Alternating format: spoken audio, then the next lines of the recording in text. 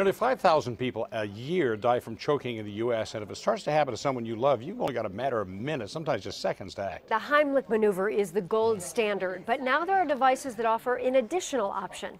Check it out. Serena Dansker remembers the terror when a hot dog got lodged in her son Jake's throat. He's okay now, but that isn't the only scare the mom of triplets has faced. I can tell you that my kids have choked on spaghetti.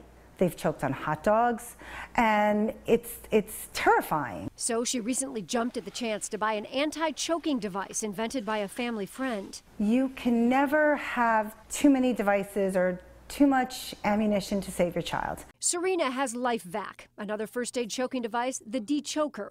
The two vary slightly in design, but basically work the same. Put a mask over the choking victim and use suction to hopefully dislodge whatever is stuck.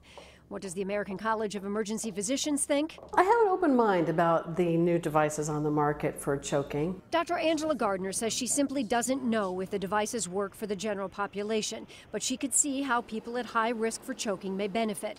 Patients with Parkinson's disease or MS, for example. She is concerned, however, when it comes to using them on small children. The thing to remember is that children have very um, large tongues relative to the size of the airway, and a lot of care would have to be had for using these in children. The FDA told us it has not approved or cleared a medical device specifically to open an airway or facilitate breathing in a first aid or rescue choking emergency. The agency clarified that it hadn't approved anything to substitute for or assist in the Heimlich maneuver.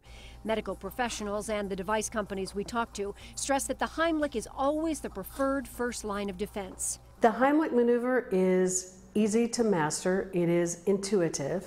Serena feels there's no such thing as too many safety backups for her family. You have a sense of security just knowing that there's something else if the Heimlich doesn't work. LifeVac costs about $70 and the Dechoker about $90. I know some people feel a little eerie about the whole thing and how much But do it stuff. first if you can, right? All right.